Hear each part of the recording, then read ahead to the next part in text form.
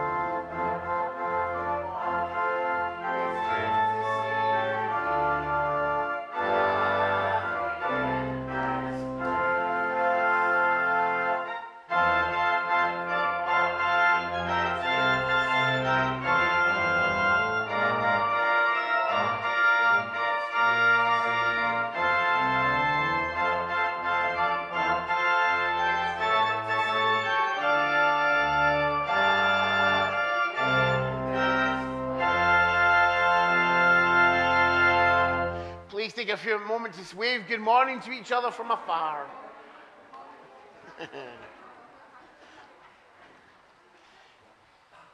the intimations are quite straightforward at the moment, so, and for today. The service next Sunday, uh, we revert back to usual times. So it'll be 10 o'clock for Old Gourock Ashton, and then 11 o'clock for St. Ninians, but not here. It will be at the, and I keep on getting this name, the Meadowfield Centre. What? See, I was halfway there, wasn't I? It's Meadowlark Centre, so we will be meeting up at the Meadowlark Centre at half 11. Um, same time as normal, but just a different venue, um, and that will be from ongoing from that point onwards. So that's back to 10 o'clock here, and then 11.30 at Meadowlark. Sounds lovely. It really does. It's such a nice name, Meadowlark. Um, the, orga- the church halls here are going to be closed for organisations. Jim has put out an, uh, an email to all organisational leaders to this effect until at least the 18th of January, in light of current guidelines from Scottish Government and also guidelines being sent to us from 121. We feel that we've had no option but to make this decision. We will continue with, online, with services here in, in this place, uh, as we, certainly is no reason for that not to take place. But um, we're expecting a further update on the 18th of January. We are not expecting this situation to be a long term one, um, so hopefully that'll be the case. But we will let you know as soon as we know more. But unfortunately for our organisations, it will need to be a delayed start back into 2022. We do apologise, but it's beyond our control. Also today, in our prayers of intercession, um, I, I, know of three people, uh, and probably a lot more that are known to you, but three people in particular who, have, uh, who are currently hospitalised from our congregation. Uh, Maureen Young, whose husband just passed away just a few weeks ago, John, um, and Margaret Howison is in a, not in a good, uh, difficult time as well, and also Bryce Reid, who has fallen and broken his hip. So we remember them in our thoughts and prayers, but also the families of Hazel Gallagher of 29 Larkfield Road. Remember Ian and her son Stephen, whose funeral will take, here, take place here on the 11th of January, and Agnes Davison of 17 Essex Road, whose funeral I will be conducting on the 13th of January. We remember their families in our prayers of intercession. These are all the intimations. So let's come before God in our worship and in our praise. We have this Sunday the last few times to sing a few of the carols before we put them away again for next year. So let us sing together hymn 323, hymn 323, the first Noel.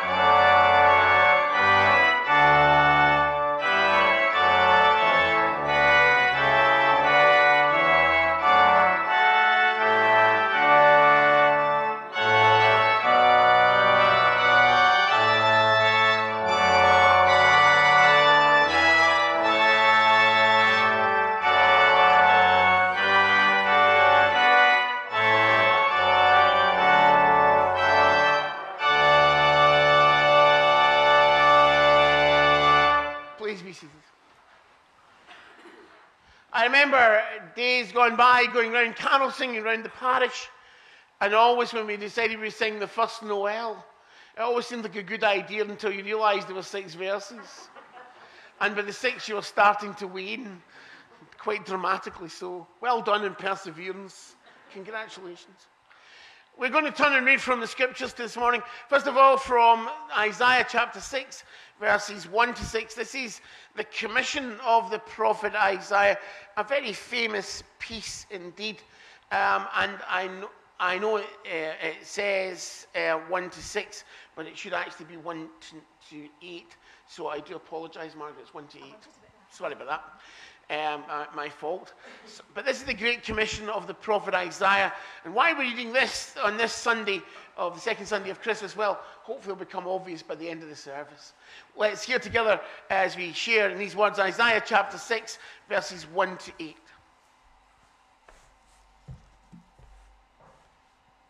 Uzziah's Commission.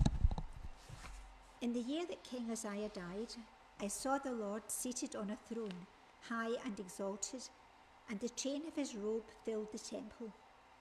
Above him were seraphs, each with six wings. With two wings they covered their faces, with two they covered their feet, and with two they were flying. And they were calling to one another, Holy, holy, holy is the Lord Almighty. The whole earth is full of his glory. At the sound of their voices, the doorposts and thresholds shook and the temple was filled with smoke. Woe to me, I cried, I am ruined, for I am a man of unclean lips, and I live among a people of unclean lips, and my eyes have seen the King, the Lord Almighty. Then one of the seraphs flew to me with a live coal in his hand, which he had taken with tongs from the altar. With it he touched my mouth and said, See, this has touched your lips. Your guilt is taken away and your sin atoned for. Then I heard the voice of the Lord saying, Whom shall I send? And who will go for us? And I said, Here am I, send me. Amen. Let us take a moment to come before God in our prayers. Let's unite our hearts. Let us pray.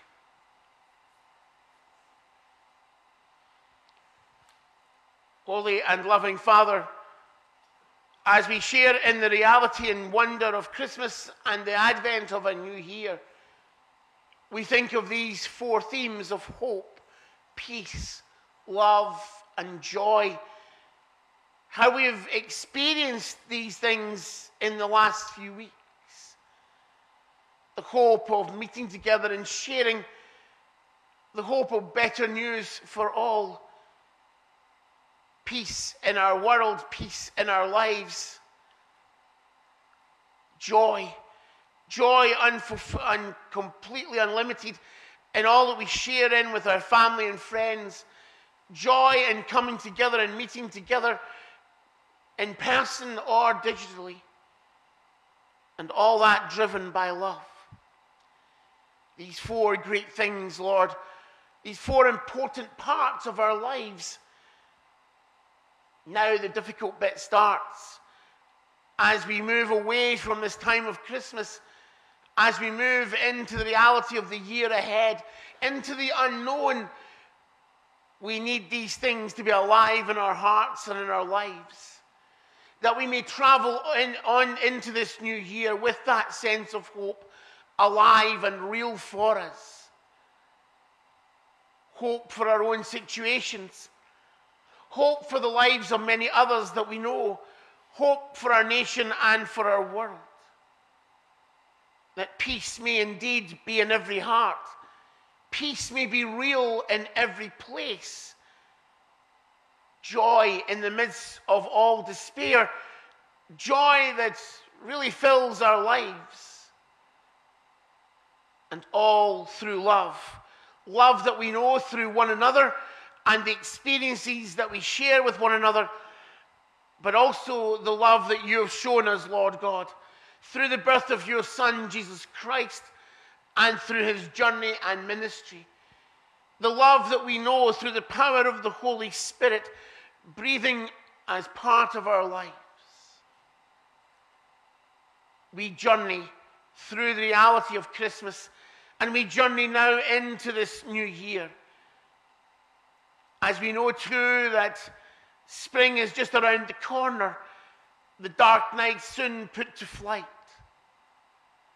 As we remember the living lights of Jesus Christ, the light that the world has never dist- extinguished, we come to thank you that we live in that light, that we are guided by that light and that that light shines among us and through us. Lord, help us to be the means by which other people see the light, by living our faith, by sharing our faith, by witnessing our faith. Holy and loving Father, draw near to us today, we pray. Be with us in our own journeys and our own experiences in our own imperfections and failings. As we come to you, we seek that knowledge of forgiveness, that knowledge of new beginnings, that knowledge of new hope. We recognize our failings before you, Lord, the things we've done and wish we hadn't, the things we know we should have done the words said in anger that we wish we could take back but can't. Lord, we come to you for that sense of release. Release from all that binds us, release from all that worries us, release from all that defines us, release into your love, release into your eternal grace. Hear our prayers this day. Be with us, we ask. And as we journey into this unknown of 2022, we pray, Lord, that you may indeed journey with us every moment of every day. Father, hear these our prayers we ask. In Jesus' name, we, we bring them to you. Amen. We turn and read from our final part of the Christmas narrative the epiphanal reading of Matthew chapter 2, verses 1 to 12. Matthew chapter 2, verses 1 to 12. Now, technically, Epiphany is not till the 6th, that's Thursday, so we're jumping ahead a wee bit, but forgive me. Matthew chapter, 20, chapter 2 and verses 1 to 12, and again, Margaret will lead us in the last part of our Christmas narrative.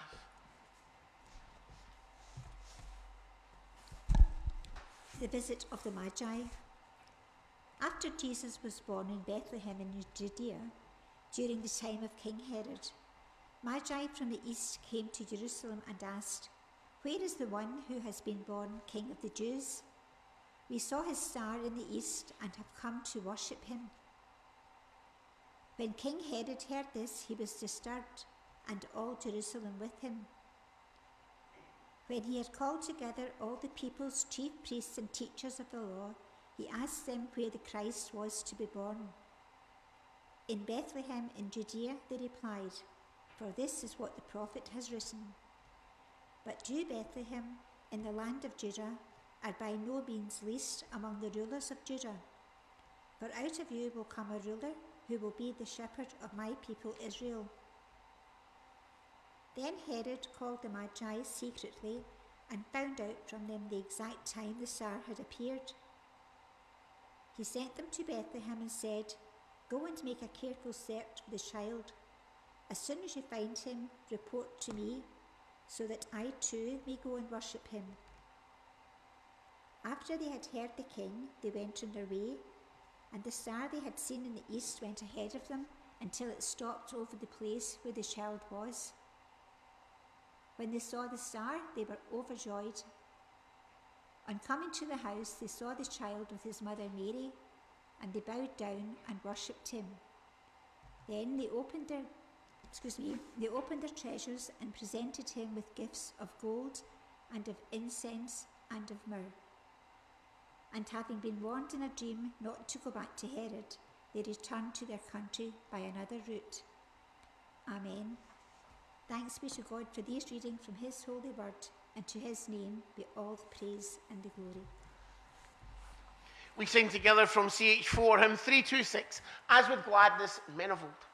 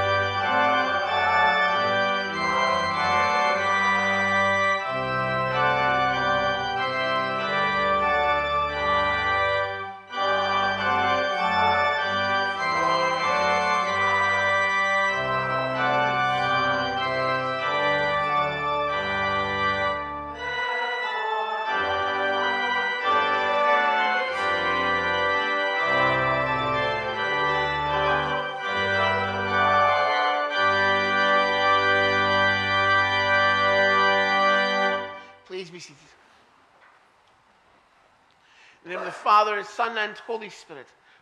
Amen. Well, how has it been for you this year? It's been a different Christmas, I suspect, again, from what we perhaps were normal, or at least we're used to. Certainly better than what it was last year compared to the COVID year of last year, although this is still a COVID year. Still not what we were used to. I think every family has its own traditions, ways of doing things at Christmas and New Year.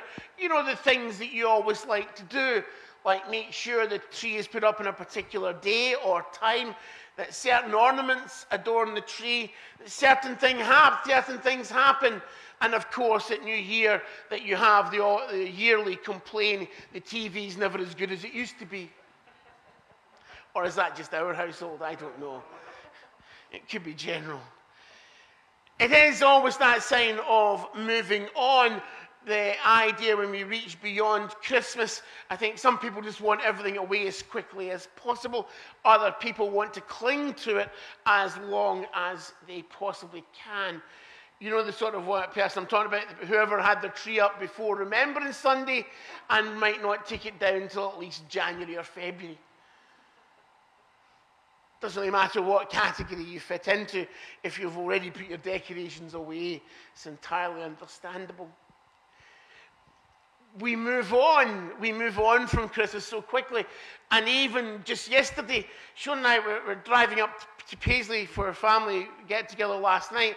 And last Christmas came on, you know, the Wham song last Christmas, and it felt wrong. It felt so wrong already. It was the equivalent of hearing Slade singing Merry Christmas, everyone, just after Boxing Day. It just feels wrong. And yet, within the context of the narrative of Christmas, we have to continue the story because it doesn't all happen in the, the friendly way we look at it of the shepherds and then the wise men coming to the manger. If you read Matthew's gospel clearly, the timing is different. Bethlehem is still the place where it happens, but they talk about a house. There's no mention of a stable. So there are different elements to Matthew's gospel in the Christmas narrative. And of course, we have the Magi bearing their gifts of gold, frankincense, and myrrh. I decided that this is the last week of our blow up nativity because it is epiphanal.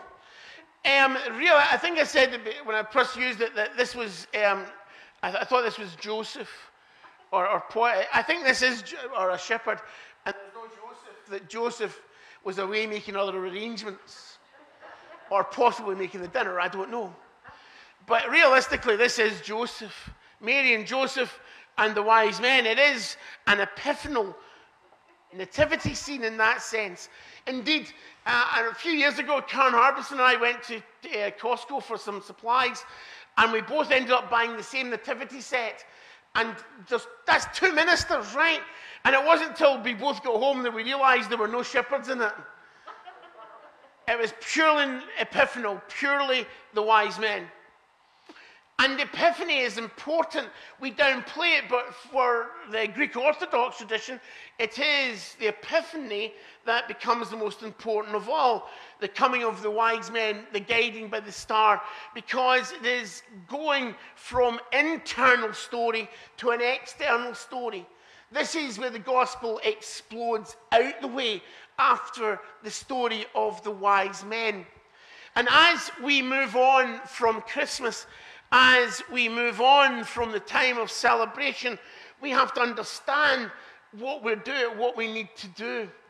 And so, as we start to take the decorations down, yesterday as we came into our driveway, we were talking to our neighbours who were already taking their outside lights away. And I, I kind of, kind of really, yeah, kind of really depresses me because there's something wonderful in the midst of the darkness when you see the lights appearing in people's houses, isn't it? And then suddenly they go away and you're back in, it's still dark. It's not as dark, but it still is dark. And it feels there's something missing. But we're taking the man's ones away as well. Actually, where they are on our pathway, it looks like a landing strip, and we are fearful of a passing jet. But we take our decorations down. Next Sunday, the Christmas tree will be down. That's a subtle hint, Elma, by the way the Christmas tree will be, the Christmas tree will be away and all our decorations will be gone.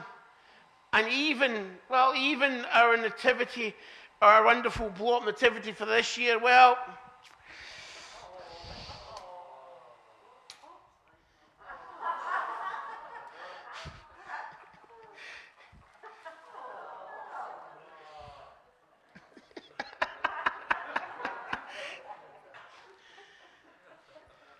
That's how you feel at the end of Christmas. You feel deflated. And yet, it's not how we should be feeling.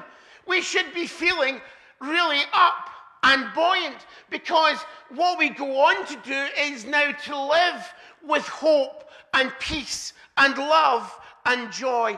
The challenge we face with Christmas is to take these principles these important things that are illuminated during the Advent and are brought to life in the light of Christ, we need to take these symbols, these realities, into the reality of 2022, into the journey of our lives, and into the journeys of others as well.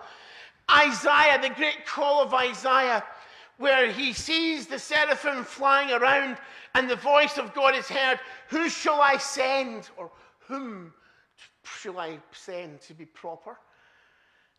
Send me. You know that wee guy in the class who always goes going, mm. There's a strange thing which we do with children in primary schools, I've told you before. When their hand goes up, it seems to be attached to their vocal cords. Mm. Maybe it was you in school. Maybe you were like that. You were the one who was going, mm. Send me, says Isaiah. But the challenge of Christmas is for us to, while we feel the deflation, and it is a sad sight, is it not?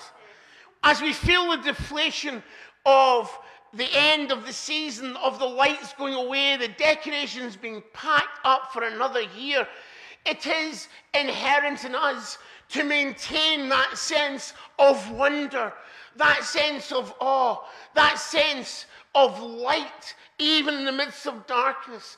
And that through our life of faith, through our journey of faith, individually and collectively as a congregation, to show and to live through hope and peace and love and joy. We pack the decorations away. We put everything away for next year once more, hopefully carefully, because you don't want to buy lights again next year, do you? But we live with these realities. We live through the light of the living Christ. We live to share that sense of hope and peace and love and joy. So as the lights go off, the decorations go away, and as all these things happen, we maintain the sense of wonder.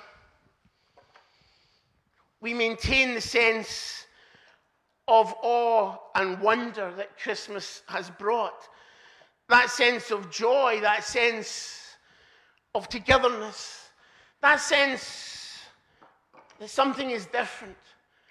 And we seek to live our lives through the wonder of faith, through the wonder of Christmas, through the light of Christmas, to live with hope in all that is ahead of us to know that sense of peace in our lives and the lives of all whom we love. To share that love with one and another, the love that we've known, not just at Christmas, but every day. And through all these things, to bring joy. Because at the end of the day, while all the other ephemeral stuff disappears, while all the other pieces are taken away, while everything else goes, the one thing that remains is the light. That God loved this world, our world, and us so much that he sent the living Christ into this world that we might know the wonder of his love. So, as we move from this period of Christmas and New Year of joy and celebration into the apparent time of deflation and almost sense of loss. The challenge for us is not to feel that way, but the challenge for us is to live as the people of the light, like Isaiah, responding to the call of living our lives in the wonder of Christmas that all may know through us, through the work of the Holy Spirit, through the outpouring of light and love through God, the very basis of what Christmas is. Hope come to life, peace in our lives and the life of the world, joy, joy uncontained all through love. May the wonder of Christmas burn brightly in your heart through the whole of this year. And may you continue to live and share as the people of God.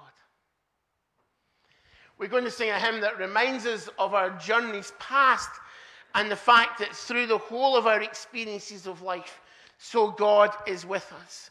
From CH4, hymn 161, O God, our help in ages past.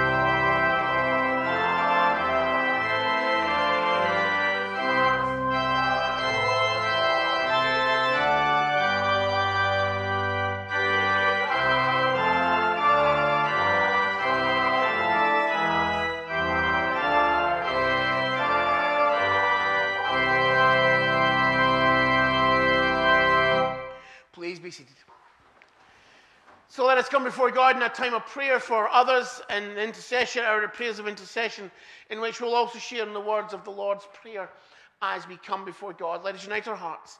Let us pray. God of the past, God of the present, God of the future, you, O Lord, are in all time, and all time is in you we come to thank you for this time of celebration, this time of sharing together, this time that we know as Christmas and New Year. We all have our own traditions, Lord, our own way of things that we like to do. Maybe they change. Sometimes they have to. Certainly last year, we know that's the case. But we still like what we're used to, what we know. And we thank you, Father, for the opportunity of sharing, particularly with family and friends at this Christmas time. Also, the wonders of technology that have allowed us to communicate with one another digitally across many thousands of miles. We thank you for that sense of closeness that we can achieve. But as we come today, as we come on this, the first Sunday of 2022, as we gather on this first day, the second day of a new year, we're aware too of the journey ahead of us, as well of the journey that we've come through. We offer our prayers, O Lord, for a world that still cries out in great need. As we enter into 2022, so our thoughts and prayers are still with those who live in difficult situations, who are struggling to survive in the reality of the onslaught of, of, of life itself. We offer our prayers today for those in greatest need throughout the world. We remember especially all those in the Ukraine living in the great uncertainty of the threat of the, that is upon them, almost like pawns in a game. We remember too those in Hong Kong and the diminishing rights and freedoms that they have. We pray for those caught up in natural disasters of wildfires in Colorado, of earthquake and other phenomena that we see right, out, right around the world. The stories we've heard in 2021, the number of lives changed so dramatically. Lord, for all these situations, we bring them to you and we pray for peace. That that we seek to proclaim through the Christmas narrative, we pray for reality in the needs of our world. Peace in all areas, a coming together of people, a recognition of the common bonds of humanity that should bind us rather than divide us. May we see in one another that we are brothers and sisters through Jesus Christ. May we see in each other that reality of love rather than looking for differences. We thank you, Father, for who we are and what we are and all that we've been blessed with through the past. We thank you for families and for friends. We thank you for this world and this society in which we live. We remember all those who are in power in different forms and who help to shape our world, our society. And we pray that you may guide them wisely. Within our area, we pray for all those within Inverclyde Council, in the Scottish Parliament, in the National Parliament. We remember our Queen, the royal family. We pray, Father, for all who are part of our institutions we remember today all within our emergency services. Those who have been there through the dark nights of winter and also through the light nights of summer. We pray for all within our National Health Service working so hard at this time, our police and fire services, those willing to put themselves in the line. And we remember too those in the Coast Guard and in the lifeboats. We remember too in this time of our teachers preparing to go back to teach our young, our young people, of schools returning to term again, of our universities and colleges and our young people in the uncertainty that's ahead.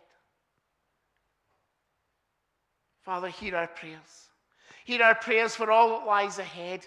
That whatever we face, we may know that we do not face it alone, but that you are with us Hear our prayers, Lord, that we may indeed know that you are there, that you are beside us, in front of us, behind us, above us, below us.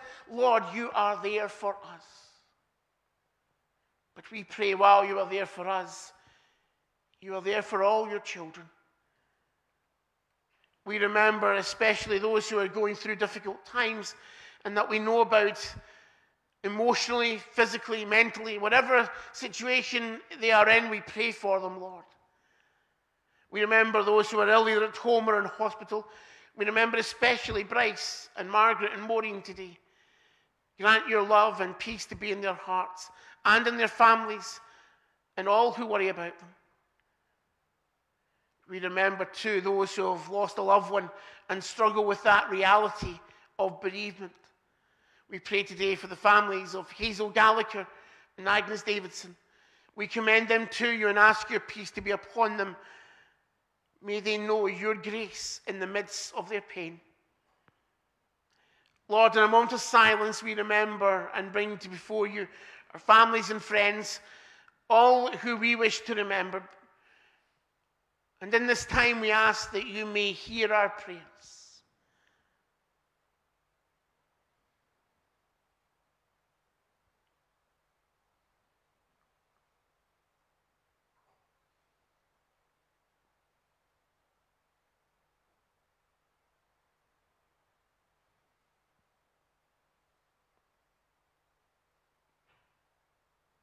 Lord Jesus Christ, You came into this world to be the light that the world can never extinguish. May your light shine through us and this place. May all who know us know you through the living of our lives. And may for us the wonder and joy of Christmas may be, remain real to us in all that lies ahead. Father, as a family now, we share in the words that you taught us to say together in the words of the Lord's Prayer. Our Father in heaven, hallowed be your name. Your kingdom come. Your will be done on earth as in heaven. Give us today our daily bread. Forgive us our sins as we forgive those who sin against us.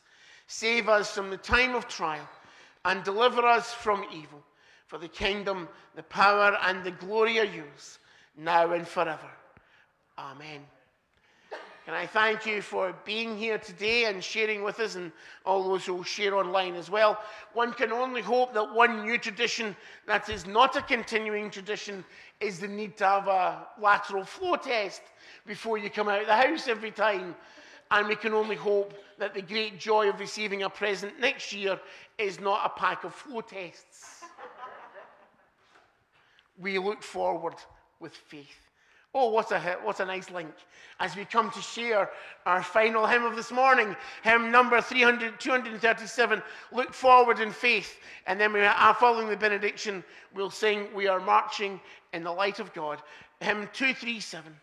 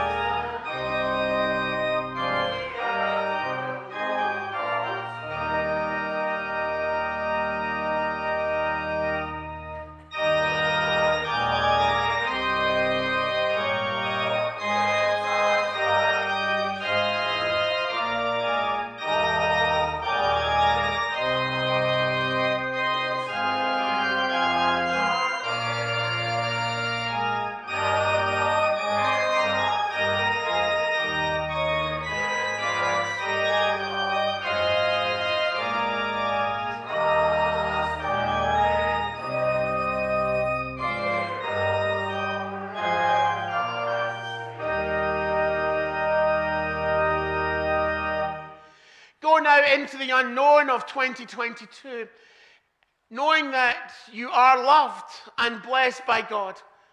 Go now into the unknown of 2022 to allow the light of Christ to shine through you, that others may see and know the truth. Go now into the unknown of 2022 in the blessing and wonder of God. And may the peace and joy of God be upon you and all whom you love and share your journey with. May the blessing of God Almighty, Father, Son, and Holy Spirit be with you and all whom you love and all who share in your story, now and indeed forevermore.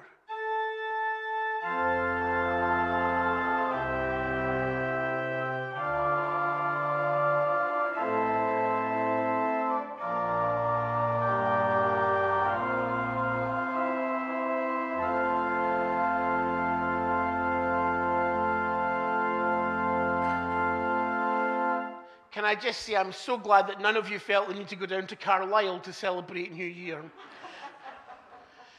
we are marching in the light of God.